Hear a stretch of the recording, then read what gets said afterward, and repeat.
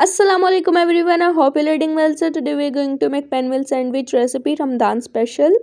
This is very easy and very delicious. So, let's begin with the video. लेकिन उससे पहले आप सब मेरे चैनल को सब्सक्राइब कर दें इसके बाद वीडियो स्टार्ट करते हैं हम लोग यहाँ पर सबसे पहले इसकी वाइट सॉस बना लेंगे उसके लिए हमने यहाँ पर सबसे पहले ली है cream four to five tablespoon धनिया और पुदीना की चटनी वन टेबल स्पून इसको अच्छी तरह से मिक्स कर लेंगे उसके बाद हमने इसके अंदर ऐड कर दी है मायोनीज़ टू टेबल स्पून दही टू टेबल स्पून। इसको भी अच्छी तरह से मिक्स कर देंगे। उसके बाद हम लोग इसके अंदर ऐड कर देंगे salt half teaspoon oregano half teaspoon now mix it well इसको अच्छी तरह से मिक्स करने के बाद हमने इसके अंदर ऐड कर दिया है मिल्क टू टेबल स्पून इसको भी अच्छी तरह से मिक्स कर लेंगे।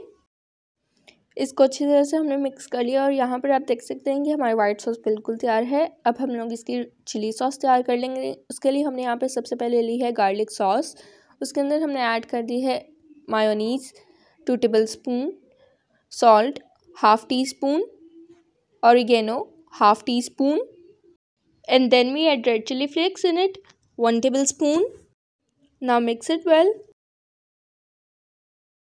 ये देखें जी, हमने इसको अच्छी तरह से मिक्स कर लिया है और हमारी रेड चिली सॉस भी बिल्कुल तैयार है। उसके बाद हमने यहाँ पर ली हैं थ्री ब्रेड के स्लाइसेस अब हम लोग इसके बॉर्डर्स को अच्छी तरह से कट कर लेंगे चारों तरफ़ से।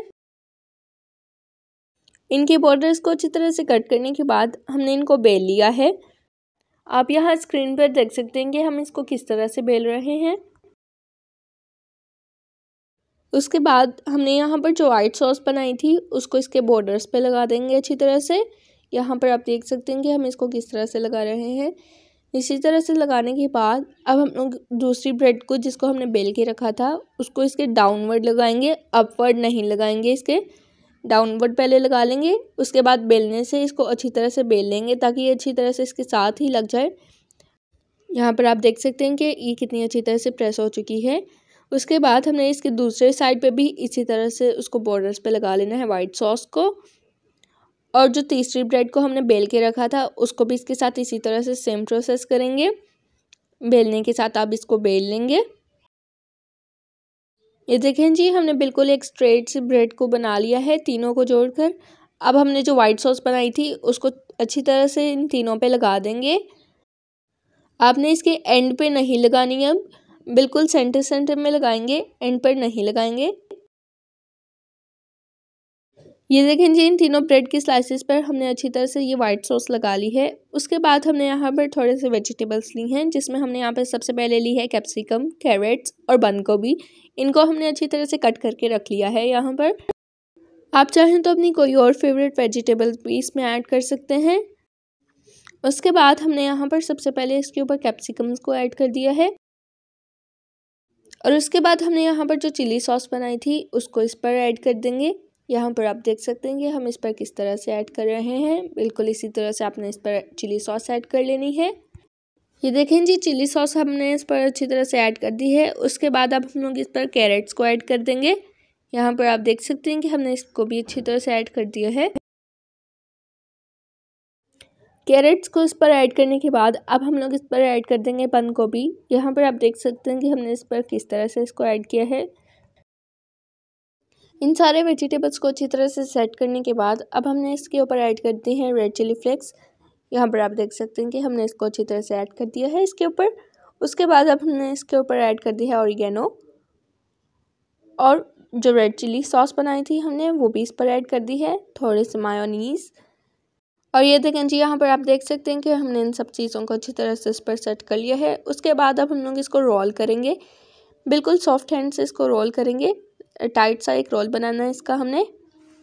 और यहाँ पर आप देख सकते हैं कि हम लोग इसको किस तरह से रोल कर रहे हैं। और ये देखें जी, यहाँ पर आप देख सकते हैं कि हम लोग इसी तरह से इसको अच्छी तरह से रोल करते हुए एंड तक ले आए हैं। अब हमने इसको एंड से बॉर्डर्स को प्रेस करना है थोड़ा सा। यहाँ पर आप देख सकते हैं कि हमने इसको अच्छी तरह से प्रेस कर दिया है। उसके बाद इसको रोल करेंगे फिर से। ये देखें जी, हमने इसको रोल कर लिया है। और ये देखें जी, यहाँ पर आप देख सकते हैं कि हमारा कितना अच्छा सा टाइट सा रोल बन चुका है। उसके बाद हमने यहाँ पर एक शीट ली है। इसको हमने अच्छी तरह से इसको रोल करते हुए नीचे लाएँगे। यहाँ पर आप देख सकते हैं कि हम इसको किस तरह से रोल कर रहे हैं। इसी तरह से इस पर अच्छी तरह से रैप कर लेंगे इसको। और ये देखें जी, यहाँ पर आप देख सकते हैं कि हमने शीट को ब्रेड पर अच्छी तरह से रैप कर लिया है। उसके बाद अब हमने इसको आधे घंटे के लिए फ्रीज़र में फ्रीज़ कर लेना है। और ये देखें जी, यहाँ पर हमारे तीस मिनट गुजर चुके हैं। हमने इसको फ्रीज़र से निकाल लिया है और उसके बाद हमने इसको पीसेस में कट कर लेना है। हमने यहाँ पर वन वन इंच की डिस्टेंस पे रख के इसको कट कर लिया है अच्छी तरह से। ये देखें जी, हमने इसके सारे पीसेस कट कर लिए हैं। उसके बाद अब हम लोग इसको प्लेट में ट्रांसफ़र कर लेंगे। और ये देखें जी, हमने इनको प्लेट में ट्रांसफ़र कर लिया है और ये कितने अच्छे लग रहे हैं। जितने ये दिखने में मज़ेदार लग रहे हैं उससे कई गुना ज़्यादा ये खाने में मज़ेदार हैं और इतने ही हेल्दी भी हैं। आप इस मज़ेदार सी रेसिपी को इफ्तार में भी ट्राई कर सकते हैं, क्योंकि ये बहुत ही जल्दी और बहुत ही मज़ेदार बनती है। So guys, I hope you like the video. If you like the video, please do like, share, comment and subscribe to my channel. And don't forget to press the bell icon do share it with your friends and family. Thanks for watching.